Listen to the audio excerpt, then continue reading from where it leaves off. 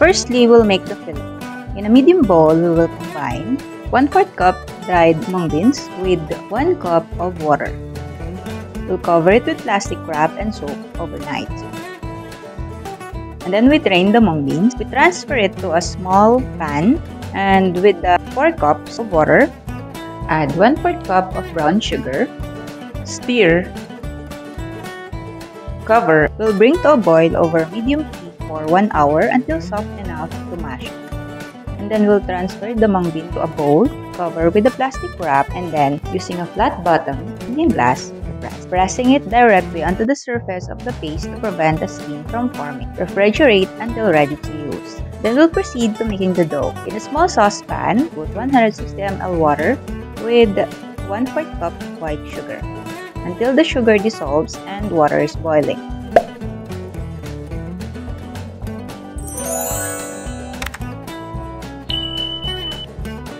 In a larger bowl with 1 cup glutinous rice, we'll use a spatula to create a small well in the center.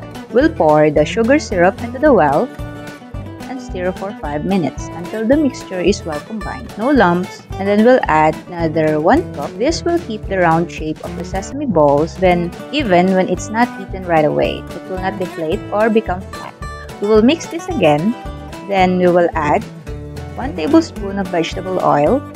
We will mix this again and leave it for 15 minutes. And then we will lightly dust the clean surface with glutinous rice flour We'll turn the dough out. We will divide the dough into 8 pieces.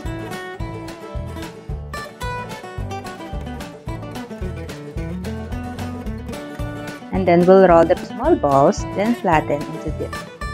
And then we will place 1 teaspoon of mung bean filling in the center of a piece of dough. Fold in the edges to cover the filling, then roll into a ball.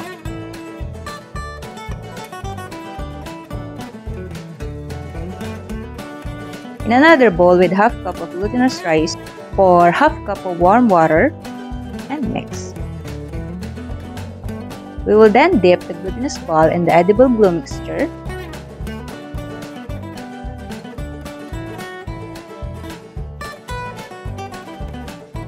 Then roll the ball in the sesame seeds until the dough is covered. And then, we will roll it again on our palm to sure that the sesame seeds stick onto the dough. We will repeat this with the remaining ingredients. In a large pot, we will heat 7 cups of vegetable oil or 1.5 liter. And then we will fry the sesame ball for 10 minutes, stirring frequently until light golden brown.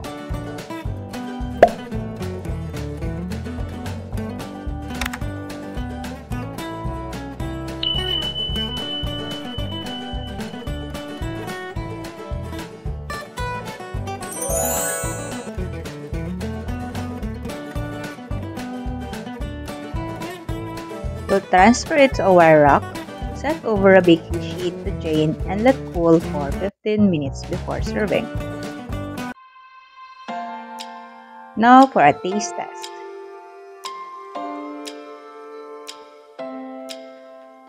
Mmm.